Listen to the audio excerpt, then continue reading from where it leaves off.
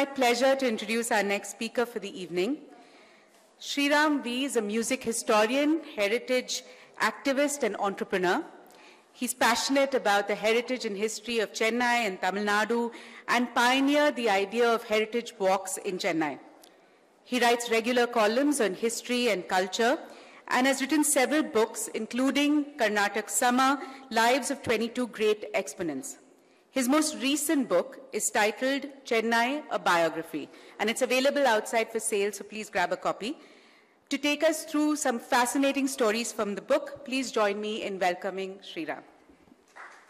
Good evening, friends. Thank you, Avehi, and thank you, Paul, and other members of Sarmaya for inviting me once again. It's always a great pleasure to be here and to, this time it's a topic that is particularly close to my heart. It's about Chennai, the city. So uh, it's of course very difficult to put together a history in 45 minutes, but then I've just taken out the salient points of the city and I have uh, brought it together here.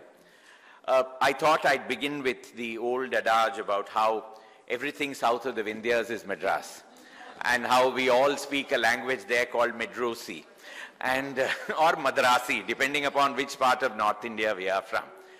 The whole thing then came to me that it wasn't very incorrect because until 1947, Madras was the capital of a large tract of land that extended all the way from Orissa right down to parts of Karnataka and Kerala and then down to the tip. And Madras was, is somewhere here and therefore it is in a way, you know, a large part of south of Vindhyas was a presidency called Madras with the city as its capital. And then in 1947, in 1930s, Orissa went away as a separate province. In 1947, we were Andhra and Tamil Nadu together in a very uncomfortable uh, coexistence, each most cordially hating the other. And then in 1953, following the fasting of Potti Sriramulu to death, Potti Sriramulu was encouraged to fast unto death, saying that if you threaten your fast, you know, Rajaji, who was then the chief minister, he will give in and then the states will be bifurcated. But they didn't know that Rajaji was a very tough nut to crack. He allowed Potti Sriramulu to die. And then after that, you know, whole of Andhra went up in flames. Jawaharlal Nehru then interceded. And then finally, in 1953, the first linguistic division of states. And then the whole of the northern part went away, leaving behind what was known as Madras state, with Madras as its capital. Interestingly, the Andhras and the Tamils fought over Madras as well. So the Andhra said Madras Manade, which is ours. And the Tamil said Madras Namade, which is, you know, just a small juxtaposition of letters. And there was a tiff over who would get the capital city. Eventually the Tamils won, which is why even today the capital city is in an uncomfortable tip of the northernmost tip of the entire state. And for years we've been talking about shifting the capital to a more central location like Trichy but we haven't done it, and I don't think we'll ever do it. So Madras, south of the Vindhyas, is not exactly a wrong definition. Every year we celebrate on August 22nd what we call as the founding of the city by the British in 1639. We couldn't be more wrong than that because the first Paleolithic settlement in the whole of Asia was discovered in what is today Madras. So 45,000 years ago we had an existence. Uh, in places like Pallavaram and Egmore and all that, we found settlements of the Paleolithic age, of the Iron Age. And so it, it is a very ancient region. And uh, then came the Pallavas in the 6th and the 7th centuries.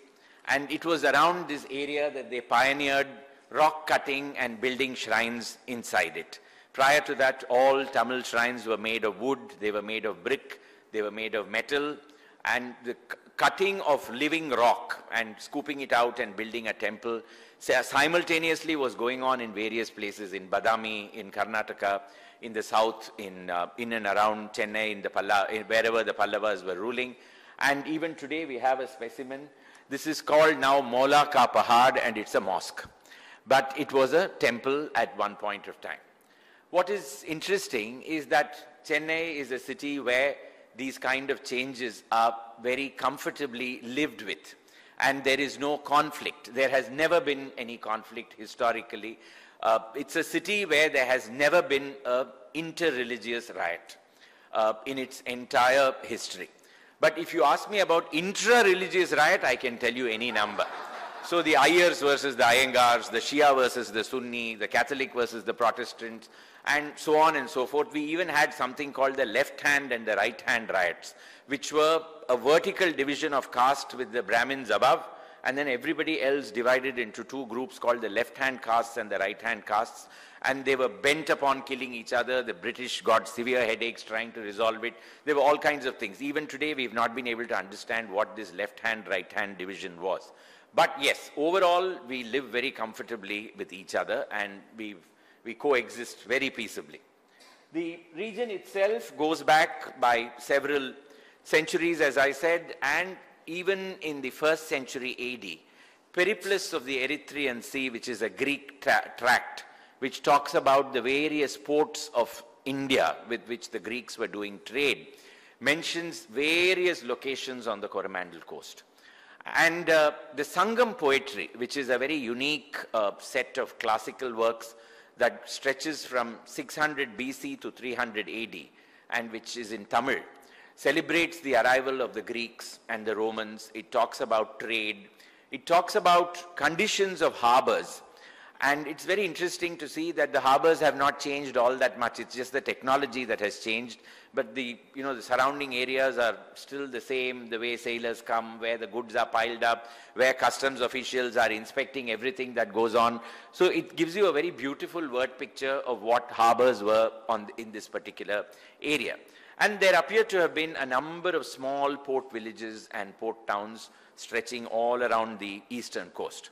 And the Bhakti movement, which comes about between the 7th and the, between actually the 5th, 6th, 7th, and the 8th centuries, when uh, Tamil versifiers adored Shiva and Vishnu in verses.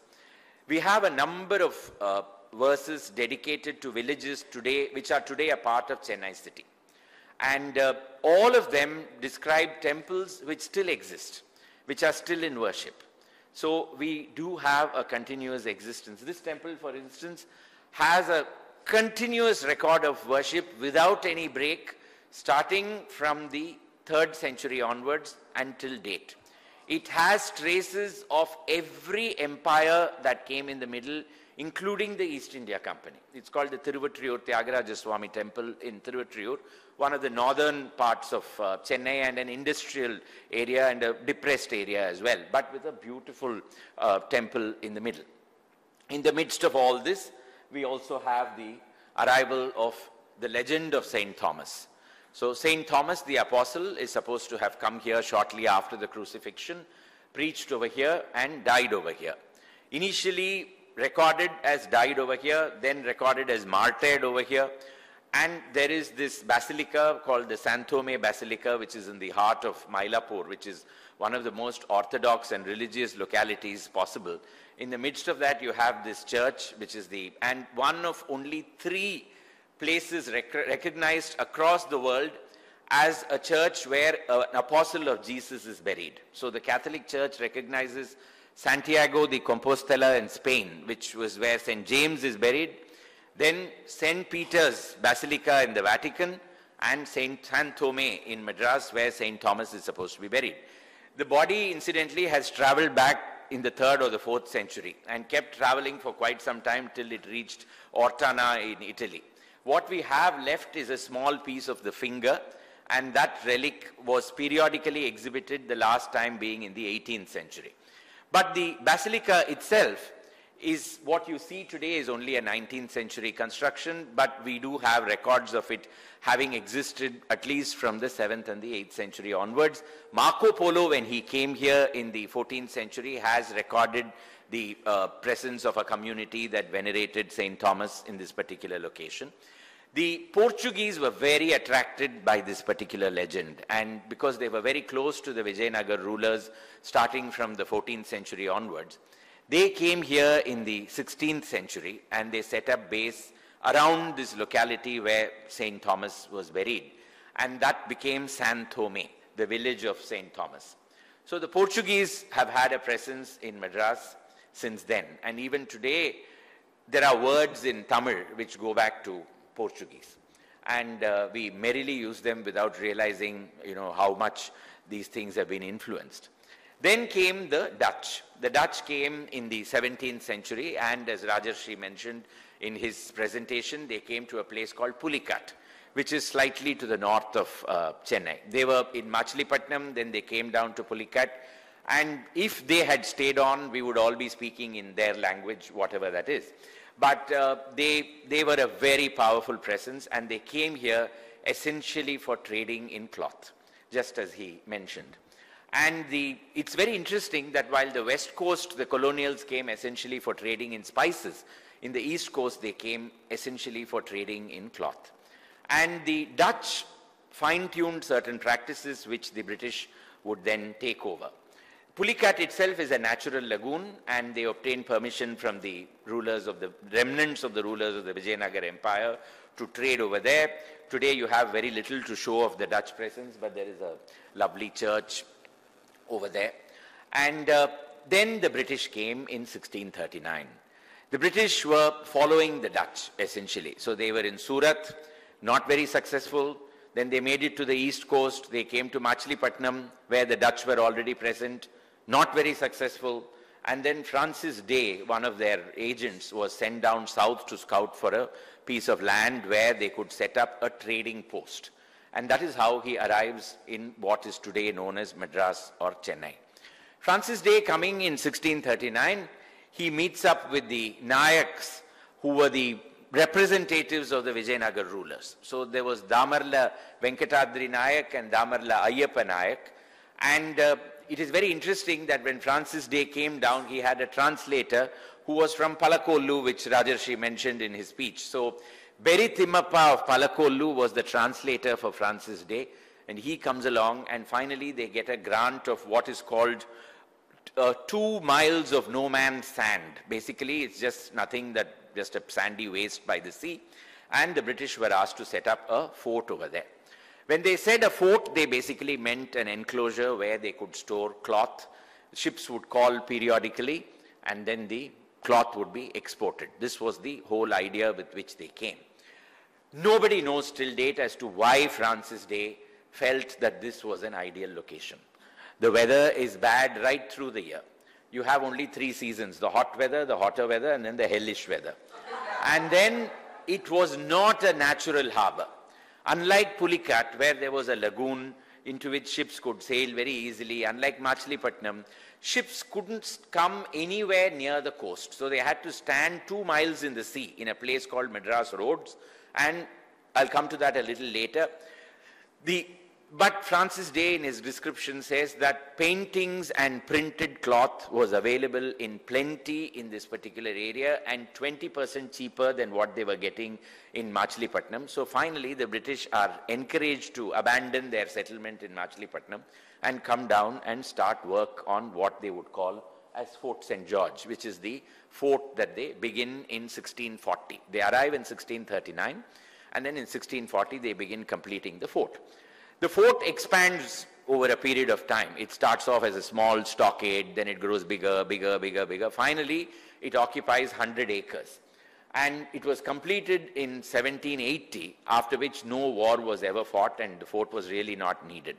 But it became the administrative headquarters of the city and of the state, and it remains that way. The British came here as traders. They were interested in cloth, and it is very interesting, even today you can trace how the city expanded. So first was the fort itself. And that was in the records, in the grant that the Nayak gave them. He says, our village of Madras Patnam. So there was clearly a village called Madras in which the British were coming. So the British clearly didn't found Madras, so to speak. There was a small hamlet in which they decided to start their fort. Just behind it came up what was called Blacktown. Blacktown was essentially where all the you know, supplementary services, the money lenders, the translators, the cooks, the carpenters, the water bearers, everybody would be living. And that had a temple right in the middle to Chenna Kesava. And Chenna Kesava Perumal temple even today stands and it's now shifted from where it was to a different location, but it is still there. Probably that gave rise to the name Chenna Kesava Perumal Patnam. While this was Madras Patnam, that was Chenna Kesava Perumal Patnam. Over a period of time, the English continuously referred to the place as Madras. The Indians in all their correspondence referred to it as Chennapuri or Chennapatnam. Gradually, over a period of time, it became almost certain that Madras is an English name, Chennai is a Tamil name, and in 1996, it became very convenient to change the name because of that. What was forgotten was that there was no Chennapatnam before Madras. Madras was the name that existed when the British came and it was already here and it wasn't a British name, so to speak. The British then began settling weavers inside Madras city itself because they didn't want to go all around the place. They didn't know the local language and they needed a community of people who would conduct the business on their behalf. And these were the Dubashis or Dvibhashis, men who knew two languages. So they would either know Telugu or Tamil and they would know Portuguese. Portuguese was the common language. Then they learnt English over a period of time. And it is very interesting that they were operating in a scenario where neither of the contracting parties knew the language of the other. That cloth weaver had no idea what price he was selling it to the British. The British had no idea what price the Dubash was contracting, so the difference went into the pocket of the Dubashes. The Dubashes bought enormous tracts of land around Madras. They got into rent farming. And as the empire expanded, they went along with the British. They went further down south to Tanjavur. Wherever the British went, they went along with them. They were really the eyes, the hands, and the legs of the British. And they did, they ran private armies. You name every corrupt modern practice, the Dubash had already done it. So if today the Dubashes were to come back, they wouldn't be surprised at anything that was happening now. Land grab, all of it. They had done all, everything. And by the time they grew old, they got worried about afterlife. So they began building temples to commemorate themselves. And today, all around Chennai, particularly the older parts of Chennai, you have any number of temples that were built by the Dubashas. But we have such a poor sense of history that you ask any average Chennaiite, how old is this temple? Eh, 2000 years, sir. Everything is 2000 years old in our city. There's a very comfortable, respectable uh, age that we give. We endow it with an antiquity that it doesn't possess. The Nayaks were eventually displaced by the Nawabs of, uh, the Sultans of Golconda. And they had their local representatives who were the Nawabs of Arcot. Over a period of time, as the, as the power of Golconda, you know, the Mughal Empire came down, the Mughal Empire reinforced the power of the Nawabs of Arcot. And then when the Mughal Empire itself began to weaken, the Nawabs of Arcot became the real rulers of the region and the British had to treaty with them, so to speak. Gradually, the British were very, you know, they realized that there was a lot more money to be made in fighting off and in getting rival kings to fight with each other than just to be in the cloth trade. The man who really taught them this trick was a Frenchman, Dupleix, who was in Pondicherry, which was a French settlement. So you had everybody within a few kilometers of each other. You had the Dutch in Pulicat, and then in nine locations going down all the way to Kanyakumari. You had the British in Fort St. George, you had the Portuguese in uh, San Thome, then you had the French in Pondicherry, you had the Danes in Tarangampadi, so everybody was here on this eastern coast. And the French Dupleix was the man who really realized that there's a lot more money to be made and land to be grabbed by getting the children of the Nawabs of Arcot to fight amongst each other. Finally, in the 18th century, there was this massive conflict between Muhammad Ali and Chanda Sahib, two rival claimants to the Arcot throne. The French support Chanda Sahib, the British support Muhammad Ali. And that is when an unknown writer in the British East India Company called Robert Clive really comes into his own. And Clive engineers the defeat of Chanda Sahib and Muhammad Ali becomes the Nawab of Arcot. After that, Clive is perhaps the greatest hero as far as the East India Company is concerned. He retires with a lot of wealth, goes back to England, has mental issues. Clive was forever battling mental issues. And then comes back to India because now Bengal has to be conquered. Once they reach Bengal, they realize that this Chennai or Madras was nothing in comparison to what Bengal is all about. And so Clive teaches them what Bengal can give. And finally, when there's a commission of inquiry in parliament, he defends himself by saying, gentlemen, I was amazed at my own moderation. There was so much more that I could have stolen from that place. He doesn't say that, but he says I was amazed at my own moderation. So interest gradually shifts to Calcutta, interest shifts to Bombay, which comes about in 1681, Calcutta in 1689. So Madras is really the place from where everything moves out. And so the British Army really takes its birth, what is the Indian Army today, takes its birth in the 1750s in Madras city. The first bank run on western lines begins in 1641, 1642 inside Fort St. George. The oldest civic body in the entire country is the Madras Corporation, which begins in 1688. And uh, even now it functions the same way, with the same levels of energy. And the, the archives, the oldest archives in probably the whole world is Madras Archives now called the Tamil Nadu Records Office, where if you go and search for something, you will probably have to be there for as many number of years before you find it. It's one of the most painful experiences to go through, but it does exist. The Nawab of Arcot was technically the ruler, but now he was beholden to the British. And eventually he was not very comfortable in Arcot and he wanted to come down and live in Madras. To build a suitable residence for the Nawab, the contractor Paul Benfield, who was one of the most corrupt contractors of the British uh, Public Works Department of that time in the uh, 1760s, he designs what is called the Chepauk Palace. The Chepauk Palace becomes the residence of the Nawabs in Madras. It was the first time that the British were building in a style that was a combination of Hindu, Islamic, and Western architecture. So this building really marks the start of what is known as the Indo-Saracenic style. Indo-Saracenic style eventually will morph into the Bombay Gothic and so on and so forth. And finally culminate in Rashtrapati Bhavan in, uh, in New Delhi. But Indo-Saracenic had its birth in Madras. For a hundred years after this palace was built, it lay dormant.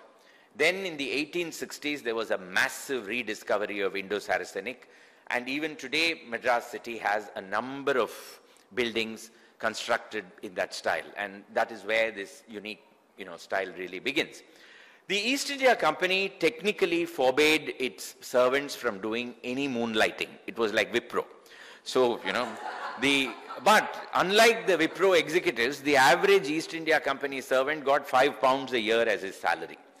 And the life expectancy was two years because given the heat and given the lifestyle and the lack of awareness of what health was all about, it was a dog-eat-dog world in Fort St. George.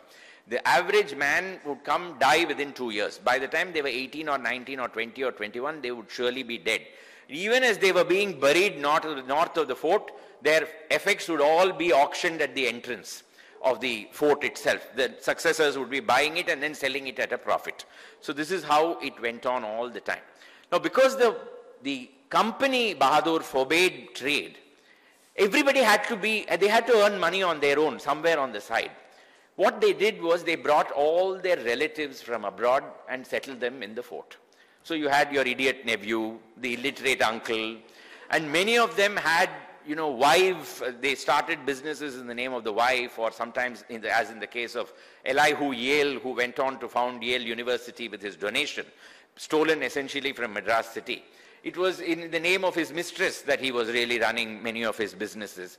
So they were all making money on the side, hand over fist. Company invariably made less money than what they were doing privately, and that was called private trade. Eventually, these cousins and nephews and all of them who were in private trade, they would enter into partnerships, they would start businesses of their own. And by 1799, 1800, they had to be recognized as a real organized setup. And an entire district in the north of Madras called First Line Beach, which we today call Rajaji Salai, where HSBC and other banks all have their offices. That is where the British businesses established themselves and moved. In 1836, inspired by the Bombay Chamber of Commerce, which was started in the middle of September. On 29th September 1836, they banded together and founded what was called the Madras Chamber of Commerce. They applied for permission to the governor of Madras. Governor of Madras said, where are the Indians in this? There were 14 of these English people, two Armenian business houses. They said, we need, he said, you need to get Indians into it. So they got two Indian companies as well and that is how the Madras Chamber of Commerce was formed. they had only one interest, which was to buy raw material from here, send it to England, get it finished, come bring it back, sell it at enormous profits on in, in Madras and in the surrounding areas. So from the 19th century onwards, the company's power waned and by 1850s the company was over in any case. It was these British business houses, you had names like Binney, Parry, Arbuthnot and Company, Best and Company, Gordon Woodroffe. These were all the big names in uh, Madras history. And they would really rule the roost. And they, they began bringing in many of the public amenities that we recognize today. For instance, the railways, when they came to Madras in the 1850s, they, the railway station was just at the northern end of this road. And it's in a place called Royapuram. And today it is the oldest railway station in India, Pakistan, Bangladesh, Burma, and Sri Lanka. The reason is the older railway stations have been demolished, so we were promoted and we now we've become the oldest railway station. The railways wanted to demolish the station, but then the High Court has uh, prevented it by a stay. Most heritage buildings survive only because of stay orders. And that is how the railway station in Royapuram also has survived. The, then they, you know, the telegraph offices, these were all contributions by the Madras Chamber. But by the 1870s, they did what was perhaps the most, uh, the most beneficial uh, contribution to the city was to lobby for a harbor in Madras. Till then, you didn't have a harbor. 1639, the city had been founded. Till 1875, every ship stopped two miles in the sea in a place called Madras Roads, and a series of catamarans, woven pieces of wood with men wearing nothing other than a loincloth and a conical cap on their head. They would row with dubashes in them and every man, woman, child and goods on the ships would be welcomed by these people. They would be lowered on the backs of these coolies onto the catamaran. Then the catamaran would row them ashore. Everything going from Madras would be rowed on these catamarans to the ships and then the ships would set sail. There was enormous confusion in the, it's like, it was exactly like the auto rickshaw service of Chennai of today. So you were dependent on the auto rickshaw and if they went on strike, ship will be there, goods will be here. No way will the two be able to communicate with each other. There was no harbor, so letters would, the captains would forget to deliver the letters to the catamaran, so the letters would travel to Calcutta or Colombo and come three months later. Very often the letters wouldn't come at all. The catamarans would wait for a high point in the water and then they would demand more money from the passengers who were on the catamaran and if they didn't give the money, they'd be nudged into the water. So it was said that around 80% of the goods that managed that horrible journey of six months from London to Madras perished in that last two miles in the sea. So this was the problem and the catamaran operators were a law unto themselves. Many times, the, exactly like the auto rickshaw service. The government tried its best to regularize the fares. Auto rickshaw man would go on strike. Same way with the catamaran operator. The harbor would come down to its knees. So finally in 18, and Bombay and Calcutta and Colombo lobbied to ensure that Madras wouldn't get a harbor. So the vested business interests, they said this city doesn't need it. We are all doing very well. Railways are connected. City can manage without a harbor. But finally, in the 1870s, there was a huge recession in England and there was surplus steel. They had to do something with it. So they said, give Madras the harbor that it wants. So in 1875, work began on a harbor. It was, one of the, it was finally documented that it was the greatest challenge that mankind had ever faced against nature to construct a harbor for Madras city. The construction went on till the early 1900s. And finally, we got a harbor in place. Nobody appreciated the construction of the harbor at that time. It was a massive project, you know, work had started, work would get over. Finally, in 1914, we were so excited about having a harbor that we were like a kid on its birthday. So we left all the lights on in the harbor in the night in September when the First World War had been declared. And a German ship called Emden came right into the harbor. We were inviting it in the dead of night. And you know, good old Madras goes to bed by 7.30. Nobody was awake at that time when the ship came in and it threw a set of shells on the city, it bombarded the city and fled. And immediately the city emptied itself. Next day morning there was nobody in Madras because there was a panic. And uh, even today we have a word in Tamil, Emden, because that's the name of the ship. So Emden means a villain, a bully, that even today in Tamil, not forgotten 108 years later. And the Kaiser, German Kaiser, was so happy that he allowed every crew member on that ship to hyphenate the word Emden to himself.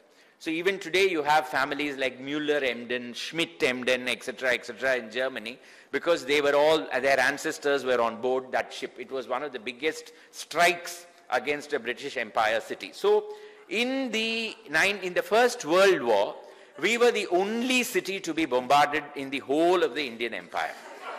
In the Second World War, ironically, on the East Coast, we were the only city not to be bombarded. So Calcutta was affected because of the, you know, war reaching Burma and the Far East and, you know, the allied force, the Axis powers coming over with Subhash Bose marching towards the Japanese coming. And then Kakinada was bombed, Colombo was bombed, Madras was spared. And that is when the value of this harbor was realized. Because this became the only exit point on the Eastern Command from which American forces could be sent out, war supplies could be made, defense industries began to be settled in Madras city. Binney and Company had to supply cloth to the entire British army. The population of the city doubled during the Second World War. It was four and a half lakhs prior to the war. It became eight lakhs at the end of the Second World War. And we never looked back after that. So the harbor was a major factor, often completely overlooked in today's history because we take it for granted that we've got a harbor. But that was really the transformational effect. But if we didn't have a harbor in the 1860s, and so we completely missed out, for instance, on the cotton boom, which is what Bombay really benefited by. For instance, during the American Civil War, when cotton was not reaching London from the United States, and Bombay went through a five-year boom, which is why all this, you know, you have the university, you have Sir Jamshedji, Jejeebhoy, uh, what is this, what's his name, Ready Money, and all of them, they all made their money in the cotton boom. Uh, uh, the, but we didn't have that because we didn't have a harbor, in essence. It's only after that, that during the Second World War, that things really changed. Now, Chennai is supposed to be today an automotive capital. We contribute 33% of the country's automotive components and automobiles, and uh, we make one vehicle every 30 seconds one passenger, one uh, passenger car and we make one heavy vehicle every 90 seconds. That's Chennai's record today. And that really starts with the arrival of the harbor. Because with the arrival of the harbor, two things happened. One, petroleum began to come and the other was chassis. Car chassis began to be imported and custom-made bodies began to be built in Madras for the use of Maharajas, uh, aristocrats who wanted, and then buses came to be built over a period of time. The city gradually established itself as a place where bus bodies and automobile works were happening. And by the 1920s, apart from the British companies that were into the automobile business, a number of Indians got into automobile trade. They began importing uh, components, they were into servicing of vehicles, they were into importing of chassis, they were importing of vehicles, and they were selling it. Slowly, the city was establishing itself as a automobile uh, center, but it didn't have anything different compared to what, say, a Calcutta was or a Bombay was. But the difference was that in Calcutta you had jute and you had a number of other business interests, heavy engineering interests. In Bombay you had finance at all times. Madras didn't have much of that. Its finance industry was very, very small in comparison. So automobile was one of the big employment factors.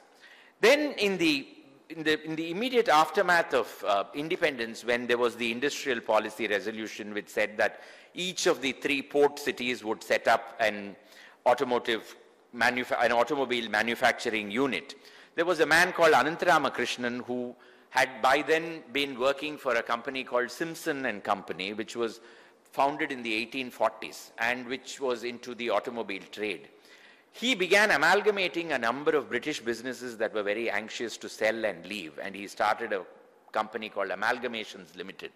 And he was the visionary who really saw the potential that the automobile had.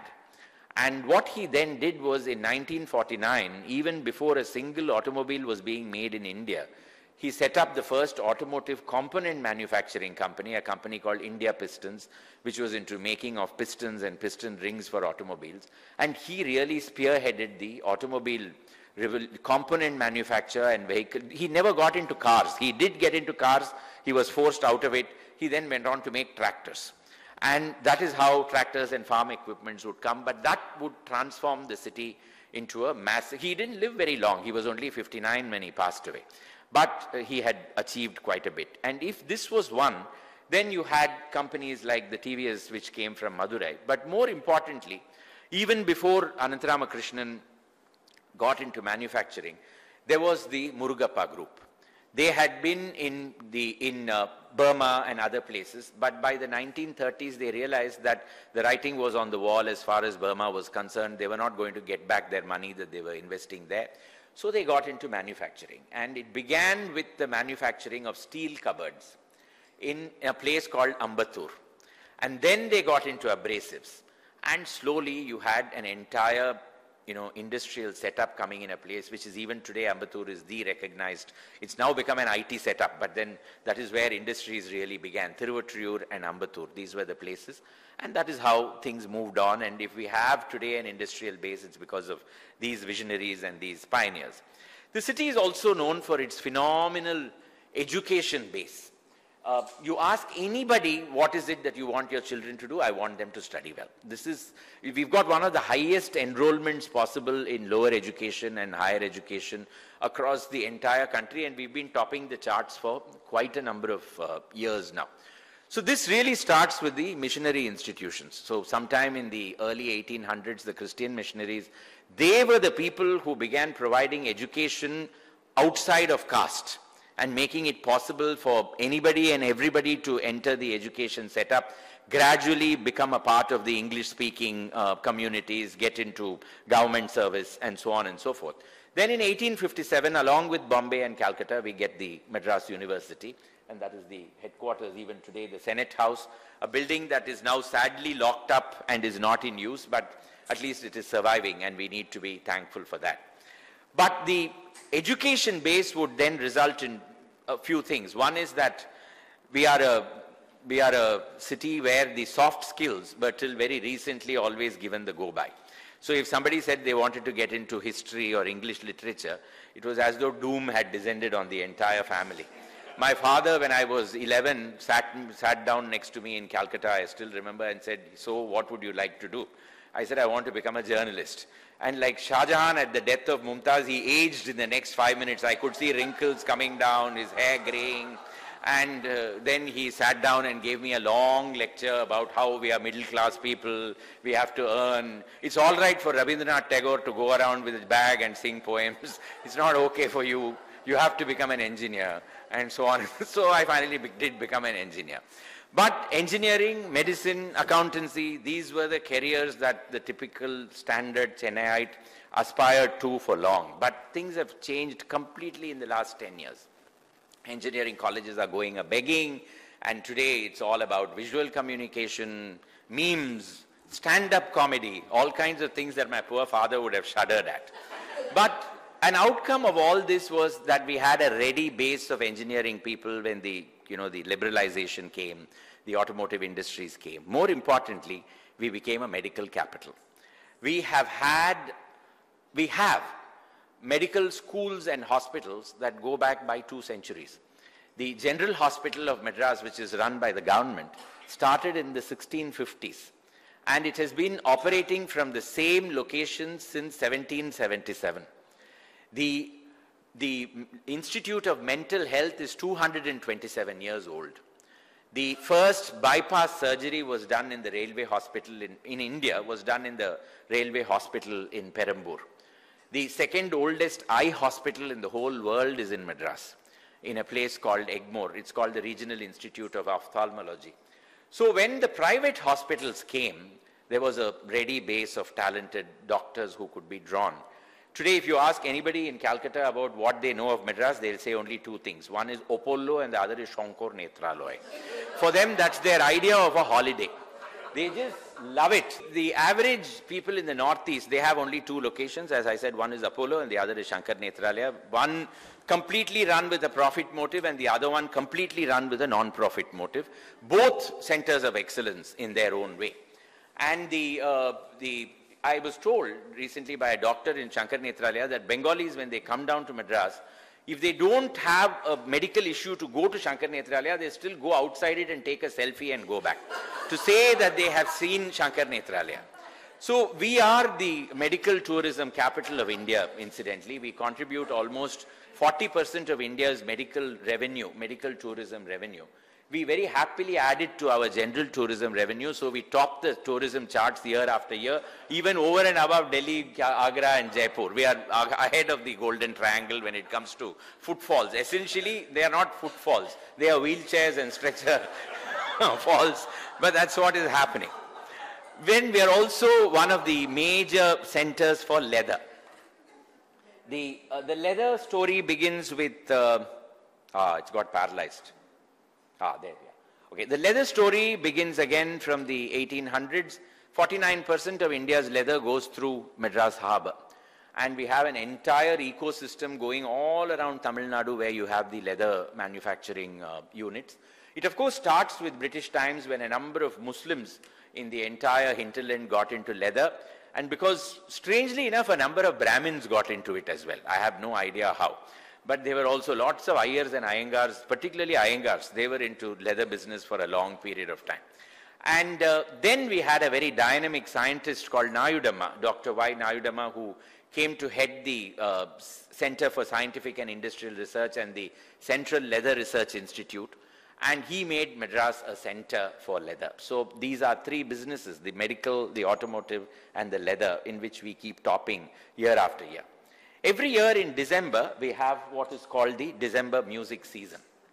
It is the, it's been going on for 96 years, and it is entirely run by private initiative. Uh, if it's in a way, it's good that we don't have any government support because I cannot imagine filling up forms in triplicate and awaiting grants. It'll never happen. But this is that one time of the year for 15 days when the weather is relatively tolerable. And we have around 60 organizations that put up around 2,500 music and dance performances, classical music and classical dance performances, and uh, entirely funded, as I said, by private initiative. It's been a remarkable success story for a very niche art. On an average, there'll be just around 20 to 30,000 people in the whole city who will be fond of this. But still, NRIs make it a point to come. Um, lots of foreigners get interested in it. Academics come down, they present papers and all that. Interestingly, in the midst of all this, we are also the chess capital of India. We have a reasonable sports history, but chess has been the one great success. The, it's uh, chess and carom board. In, interestingly, the world champion for carom is still in Chennai, Maria Irudayam, who it started with a very depressed industrial neighborhoods where, you know, people would play carom and that's how they honed it into a fine art. But chess has really uh, taken us to the top of the charts. And recently, as you know, the Chess Olympiad happened there. Despite all these things, there is the great water scarcity in our city. This Chennai is a city with, which can make it to the news regularly for two things. Either it is water scarcity or it is a surplus of water. It's one of, it's never somewhere in the middle. And it is just not today that it is, British records are full of water problems. So even when they settled in Fort St. George, they began complaining about brackish water. And today people in Chennai keep lamenting we have to buy water. The British were doing exactly the same thing. They were buying water. And uh, the quality of water was bad. They were dependent on rainwater. They were tapping into rivers all around the city. And that battle has continued unabated ever since. Uh, every year by the month of February, we'll get this photograph in the newspapers. This is the principal water reservoir in Puzhal. So the same tower and that water below it, 15 days water left, three days water left. Then Leonardo DiCaprio will be tweeting about it. And that's when many people in Chennai really realize that there is a water scarcity. Up to then, they have never known about it. When DiCaprio tweets about, it, oh God, there must be something really bad going on in our city. And then you'll have all these messages about how lakes have been built over, these real estate sharks. They must be taught a lesson. Then it rains and then life goes on.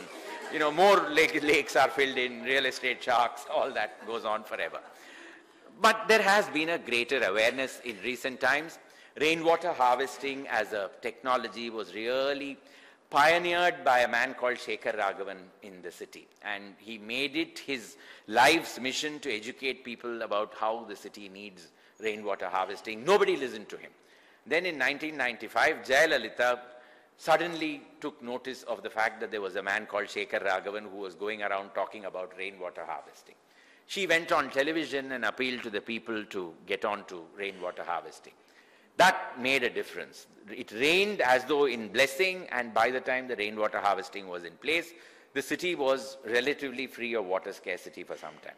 Then people realized that why do we need to do rainwater harvesting? Somebody, our neighbor is doing it in any case. So the water will anyway go up in this. So I don't need to spend money on it. But my building needs a certificate for completion saying that I have got rainwater harvesting. I'd bribe the man 10,000 rupees only, while a real rainwater harvesting investment takes 1 lakh or some such thing. So 10,000 rupees bribe gets me a rainwater harvesting certificate. Entire streets did this, no rainwater harvesting, but they had certificates in their possession. So nature came back to teach us a lesson in 2005, 2008, and so on. Then in 2015, we had the great floods. After which we seem to have woken up and we appear to be saner and better. We are building more reservoirs to tap the rainwater. Last, my last story for the city is of course about, about our cinema and its connection with politics. So our, we are a very different city in many ways. and uh, there are two threads that really converge onto this uh, final slide of mine. One is the battle for equality and the other is cinema. So the Tamil Nadu politics, as people call it, Dravidian politics, they just say, ah, Dravidian parties, Dravidian politics. They vote for themselves. They carry on in their own way and so on. But the real, it starts with a very noble premise of social equality. So long before Baba Saheb Ambedkar and others, the fight for recognizing the rights of the downtrodden had begun in Madras. It began even in the closing years of the 19th century.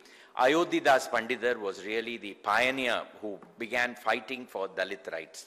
Then came Rettamalai Srinivasan, then came M.C. Raja. By 1918-1920, you had a strong anti-Brahmin movement. And you had a party called the South Indian Liberation Front, which ran a newspaper called the Justice. And that is how the party came to be known as the Justice Party. And in, by the early 1920s, the British government had already begun allowing for voting on a partial franchise in the provinces. And so you had elections, and the Congress was not contesting the elections. The Justice Party stood, and they won.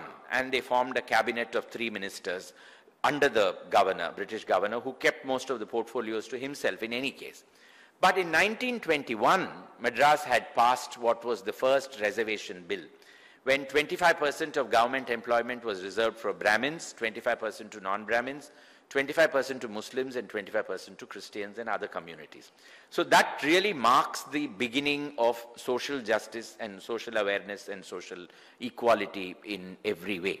So by the 1940s, 50s, the city was really a place where the upper castes couldn't hold sway over the lower because there was a strong identity of self-value.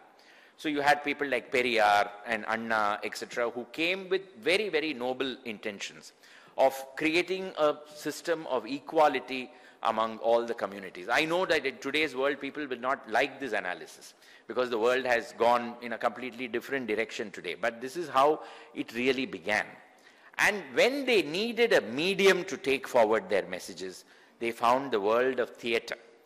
Ironically, it was the Congress that discovered the power of theatre. You had a freedom fighter called Satyamurthy who died during the Quit India movement. But in 1920s, he was a very powerful orator, theatre personality, an actor, uh, uh, you know, a member of the Madras legislature and all that. He found theatre people to be very good in attracting crowds, and he got the biggest names in the world of theatre to come and campaign for the freedom movement. When he died in the 1940s, his successor Rajaji did not have anything to do with the theatre people, and they felt rootless. And that is when they went and aligned themselves with Periyar and Annadurai. And the world of cinema had already come in by that time. Kollywood, or at that time it was not Kollywood, but the great studios in Kodambakkam with actors and all that. Beginning with 1950s, Tamil cinema transformed itself into a social message-bearing medium. The first film, there were films even during the pre-independent uh, era, but the really big blockbuster was a film called Parashakti, which catapulted Shivaji Ganeshan to fame in the early 1950s. Then came M.G. Ramachandran with his own messages of social equality. And from then on, we have never looked back. Cinema and Tamil Nadu politics go together. Every hero in Tamil cinema aspires to become the chief minister. Of course, a woman did, there is no doubt, but that woman was an exception. She was one of her kind. But there were, every hero, when he starts off, he has a fan club, which begins with giving blood donations on his birthday, or for celebrating, and then for conducting camps, health camps. It starts off with a very noble intention. Every Friday or whenever there is a Friday, and all Tamil cinemas release on Fridays, by the way. They, there'll be bursting of crackers outside the cinema theater. They'll climb a huge cutout of the hero and anoint it with milk and light camphor at its base. It's a highly homoerotic uh, situation. Men celebrating a hero for whom they could be doing anything. And that is how they all start dreaming of a career in politics. Eventually, some of them make it, many of them don't. But in recent years, I feel that that has begun to come down to a certain extent, particularly with the proliferation of social media. People have begun asking questions as to what people can do for you. So maybe Tamil Nadu itself is going to transform over a period of time. Chennai itself will probably transform. In conclusion, what is it that makes Chennai uh, a different kind of a city? And now I have been privileged to live in Calcutta, in Delhi, uh, spent a lot of time in Bombay and Bangalore, and then I've now been living since 93 in Chennai. I'll be completing 30 years in Chennai next year. The one aspect of the city is that Calcutta has got a certain, you know, Calcutta is the city that I totally align with because that's where I really grew up. That's one city which is forever in the past. And you know, that's where it is, it's, you know, there's a certain joy. It's like, you know, the final scenes in Sahib Bibi Aur Ghulam, everything is slowly, you know, darker and darker and darker. And, but, you know, life is going on. I'm sure I'll be stoned in Bengal when I go back there, but then that's how it is. And then you've got Bangalore, which is on a super fast escalator, reach the top floor, but your multiple, all your organs are still on the first floor. You know, your heart, your lungs, your kidney and all are still coming up, but then you're there, up there, world class. So Chennai is somewhere in the middle. You know what it does? It, it measures its steps. Slowly it moves. It moves. It doesn't stop. It's a progressive city. But it takes its own time. And all the time it is looking back to see, is my baggage, my band baja barat, is it coming along with me? It doesn't lose anything. So you'll be having this guy working in an IT industry. He'll suddenly take leave. Where are you going? No, sir, in our temple there is a festival. I have to go for it. So suddenly you will find he'll be working, he'll be talking to somebody in the United States of America, cutting edge technology. Next day morning he'll be carrying something on his head and going to the temple. So they will never lose their past. They will carry that heritage forever. So this is, this is probably what keeps Chennai from becoming a Bombay or a Bangalore. But does Chennai want to become a Bombay or a Bangalore is a different question altogether. So that is where I would leave you with that thought. Thank you very much.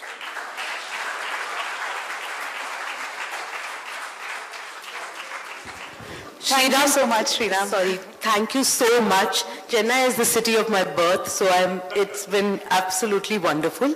One thing, if you could shed a little bit of light on, when in the context of Madras, uh, the women's weeklies, Kumudam, Kumkumam, Ananda Vikatan, that was really a space where actually feminism or feminist uh, uh, thought uh, kind of originated in the kitchens and in, so in the guise of talking about women's, uh, a woman's role in the kitchen or how to bring up your children or the best recipe, they became crucibles of uh, amazing feminist dialogue and discourse, uh, talks about, uh, you know, caste, casteism, and there have been some amazing women writers who've emerged, people like Shiva Shankari who told popular stories with these themes. Will you elaborate on that a little bit?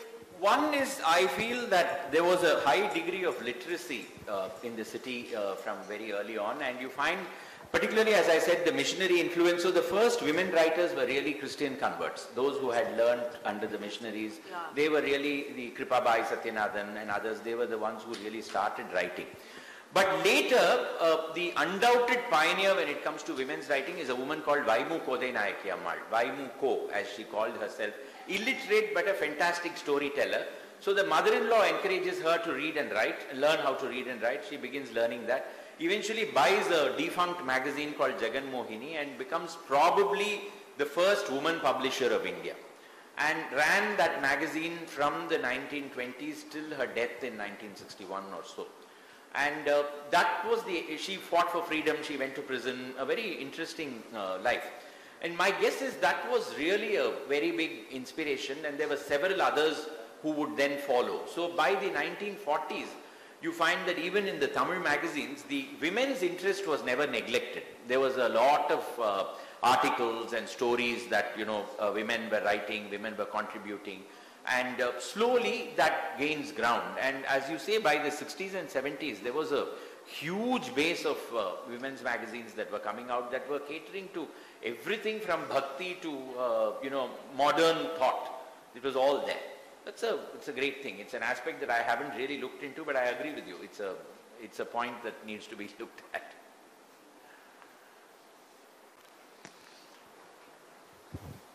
Thanks, Sriram. That was a most entertaining talk. Thank you. I have to tell you that I was born in Chennai, okay? Went to the same college as you, FMS, which I've just figured out from Ruchi just now. And uh, I married uh, a Malayali whose home was in, um, in Chennai. So he's just gone to the loo, but he'll come in a minute.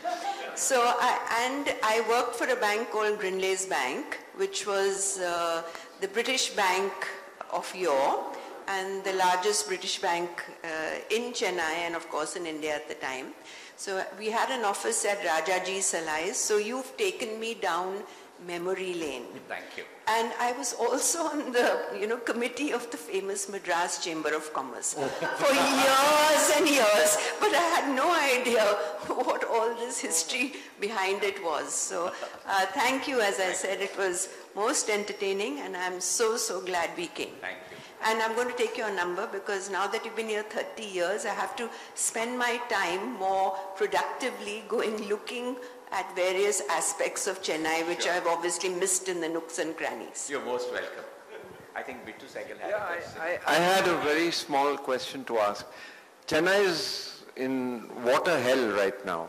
And as I understand it, the entire architecture of Chennai was built in such a way that uh, tanks, the tank irrigation systems that were there, there was a certain social custom that you don't pollute the water because the next guy is using it. That's one part of it.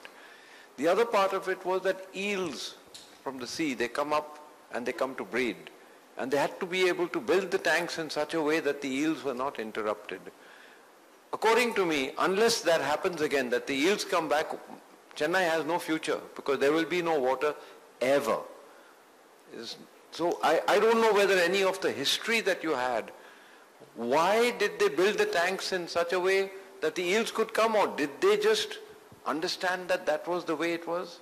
I, I'm not able to give you an answer on this because this aspect was new to me, but I can tell you definitely about the way the tanks were constructed. So uh, in Mylapore, which is where I live, there are uh, seven, uh, there, there were rather seven water bodies. The first was an enormous water body of 77 acres, which was called the Long Tank of Mylapore, where the British were actually conducting regattas and all that, rowing and stuff.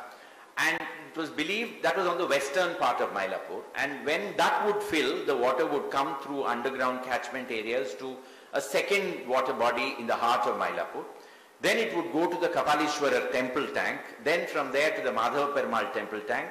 Then to the Virupakshishwara temple tank and finally go to the Buckingham Canal. So it was a chain. And in a city which doesn't have any gradient, this is a phenomenal achievement because there must have been such understanding of even mild and minor slopes that this could happen.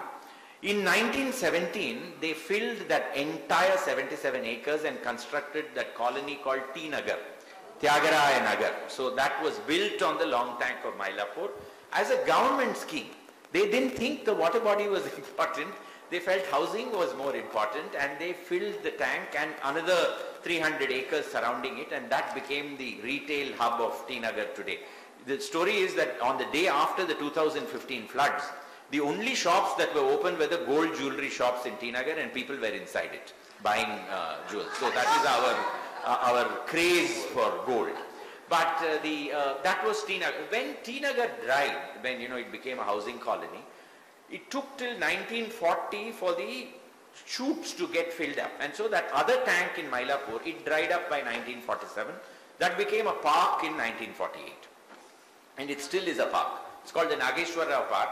And even today when you go to the park, you have to go down into the park because the, it, it is still at the depth of the tank and when it rains, it floods every year.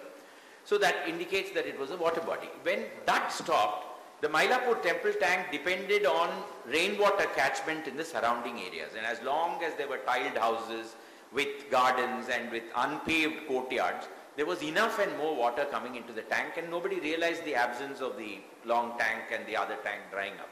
But in, by 1975, much of that had gone, so the tank went dry. When that tank went dry, the whole of Mylapore went dry after that. And it took till 1995 for the tank to fill up again, almost 20 years. And now it fills up regularly because of this half-hearted rainwater. You know, how much nature gives back even with some small steps that uh, we do take at the end of the day. But I agree with you that there is really no permanent solution. So today we manage by building huge storage reservoirs into, and then you have the Krishna, you know, the Telugu Ganga scheme as it is called, which M.G. Ramachandran and N.T. Ramarao and others really engineered, where the water from the Krishna actually comes with Sai Baba's help, incidentally, and uh, it finally comes to Madras, and uh, that again we are heavily. We we have taken water from everywhere, from irrigation tanks in Tanjavur, from the Palar River, from the Krishna River, and all the surrounding uh, rural areas of Madras, they've all they've all become sources of water supply to the city. It's one never-ending story. Actually, uh, you know, we have in the foundation and we studied that, the topography was fairly clearly understood. Because if you take the car from the airport and go the other way, not towards the city, and then come around all the way to Ennore, all along that periphery there are lakes Yeah. and they all follow the topography and the water flow during monsoon. So they knew that they needed to conserve water. There were many lakes created in line of the natural flows. Yeah, of course, and the, the, the obvious uh, uh, thing is that what happens, they start encroaching and all, but now some of those are being revived and I think that uh, that will improve the water security. And in the south, you have a huge marsh south of the city. Almost 75% of it has now become the IT corridor. The last 25% is now being kept as it is, and that will that will contribute to the city as well. Thanks. Okay, thank you so much. Thank you, Sriram.